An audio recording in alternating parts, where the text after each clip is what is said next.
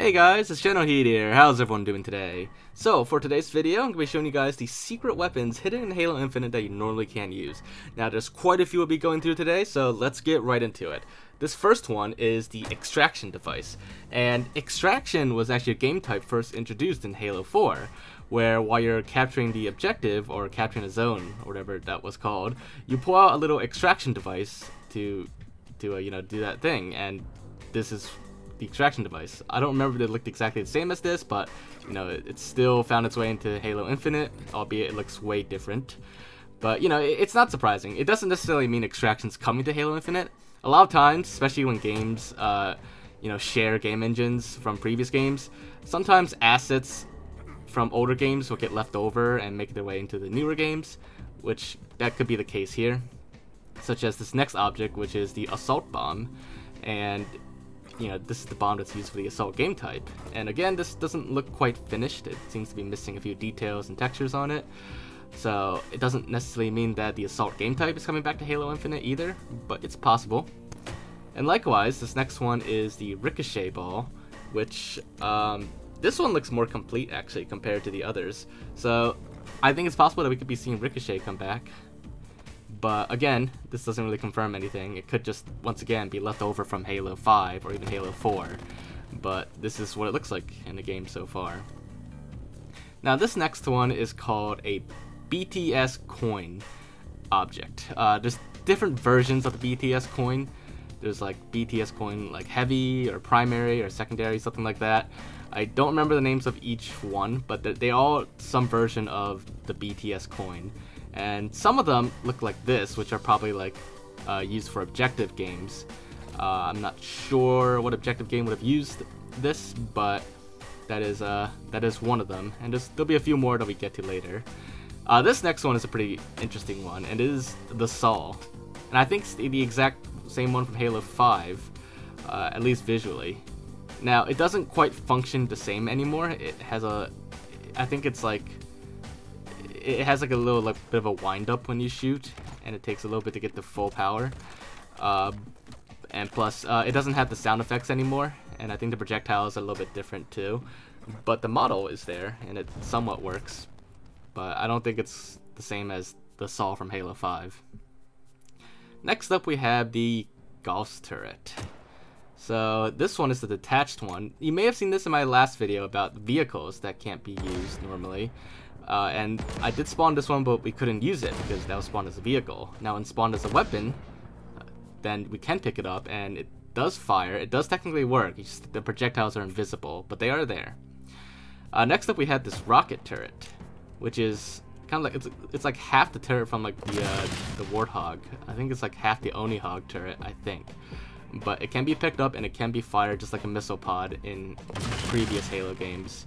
Uh, although the missiles, you can see they don't quite look the same. Looks like they're like barely visible projectiles when you fire them. Uh, just no like explosion effect or anything. So again, it's another cut weapon or leftover weapon from previous games. Now this next one is a very bizarre one. It's a Wraith Cannon, but instead of firing Wraith Mortars, it looks like it fires like this zapping beam. And, well, we've never, I don't think we've ever seen this before in any any variant, any version of the Wraith in any Halo game. And it looks kind of cool, actually. It's like a, almost like an electrical zapping beam, and it, it, seems to do like a fair amount of damage to whatever it hits. Uh, but again, this could be like a cut or prototype version. I've I have no idea, but I haven't seen it used anywhere in uh, in the multiplayer so far. All right, next up we got another BTS coin object.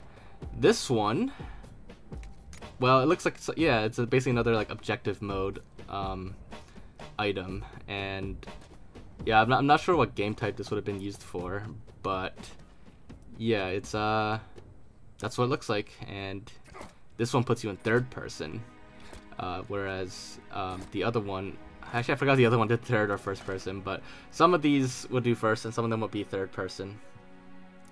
Uh, next up, we have the Proto Flag, which is basically just the flagpole with no flag on it. And this one is not actually entirely unused. There was one armor set that was uh, on sale in the store on Halo Infinite like a week ago, where one of your uh, stances during the uh, the end screen of matches, you'll be holding that exact like flagpole without the flag. So that's where that's what it's used for. Uh, for this next one, it's another BTS coin object. This one just seems to be like a test object, really. It's um, there's actually many versions of this, but they all look the exact same. They're named differently, but they have the exact same model. So I'm only just going to show this one. But there are many versions of this exact same object. And again, I've I think it's just some test object for objective game modes, but I'm not entirely sure. Uh, next one. This one is actually pretty interesting that this exists. So this next one is just an unarmed weapon. It, it, it makes you unarmed. it's it's a weapon that makes you weaponless, which uh, kind of doesn't make sense, but that, that's how it works. So that once you're weaponless, you could see that uh, you look weaponless, and it's a melee weapon, so you could like have like wep you know melee melee fights only with other players without having to like hold an actual weapon. So it'd be cool if that actually gets you know used in the future for like custom games. That we could just have like you know fists only. now this next one is just the warthog horn, which uh, for since Halo 2, vehicle horns have always been like weapons that you fire, and that's still the same with with Halo Infinite. So that was the warthog horn, and now here's the mongoose horn. Now, some of these recordings, they kind of glitch a little bit during recording, and I couldn't consistently fix it, so the sound might be a little bit distorted in some of them, so I do apologize for that. But luckily, most of these weapons don't actually have sounds, uh, especially the cut ones or unfinished ones. So hopefully, you know, it, it won't be, it won't sound too bad. uh, and this next one is just um, the tank cannon, but I'm just showing this because like any vehicle with like weapons, all those weapons can be used separately. Technically, they could be spawned separately. So I'm not going to show all of them, but I'm just going to show the tank one and then just mention that. But I will show this next one separately, which is the Banshee cannon. Uh, and, you know, it's significant because this one, you know, there's no like regular Covenant Banshee anymore in Halo Infinite. And yet the uh, the Covenant Banshee weapons still exist, and it fires, you know, the blue bolts Although it has the red effect there, but it, it still fires um, blue Banshee bolts, like the, uh, the older Covenant Banshees did. So those are still in the game. Uh, this next one, I have no idea what it's called. I couldn't remember and figure it out anymore. Uh, but it is like an invisible gun that you're holding, and well, that's it. I don't think it actually shoots anything or does anything, and when you get into the passenger of a vehicle, it makes you stand up. Just like uh, a lot of older Halo games, actually. It's the same animation, really. Uh, this next one is a chopper gun variant, and it uh, it's actually uh, pretty pretty powerful. I think it, it's a high rate of fire and does a fair amount of damage. Uh, I, I think it's it might be used for vehicle variants. I think I've seen other people uh, with videos of weapon and vehicle variants. So this might be a different variant of the chopper that uses this particular weapon. But uh, I again, I don't know. It could just be left over. It could be cut. Could be a prototype weapon. Could be anything really. Uh, this next one's another unknown weapon, and this one is one that you have to like charge up, I believe. And once you charge up in fire, it like uh, it just it releases like this electrical effect, and that's about it. Not really sure what else it does or what it was meant for originally. Uh, here's another one that's a unknown turret weapon. You can see like the symbol for picking it up was like the drop shield, I think. Or I, am not sure. I couldn't really tell what that was, but it was a symbol I haven't really seen before. But this one, it um, yeah, it, it is in first person actually. But you can uh, you can still fire it, and when you get into a vehicle, passenger seat, makes it does make you stand up, but it's it's still shootable. And when it hits objects, it leaves like these blue balls or dots all over the objects. And yeah, it, the damage of it's not that great. It, it takes a lot of shots to to destroy, like a like a mongoose even. So it's it's an odd one. This next one's another unknown turret weapon, and uh, this one, when you pick it up, actually does in the third person, and yeah, it, it fires like these uh, explosive projectiles very rapidly. Uh, it's not a scrap cannon though. It, it, fires different projectiles from the scrap cannon, I'm pretty sure. A lot more powerful actually. But again, I don't really know the purpose of that one either. And here we have another unknown charge weapon, which is, you know, a weapon that you pick up and you gotta hold to charge it. And this one, well, it, uh, I don't know what it's for either. And it pro projectiles it fires, they don't really do much either. But I'm pretty sure it is shooting something, an invisible projectile.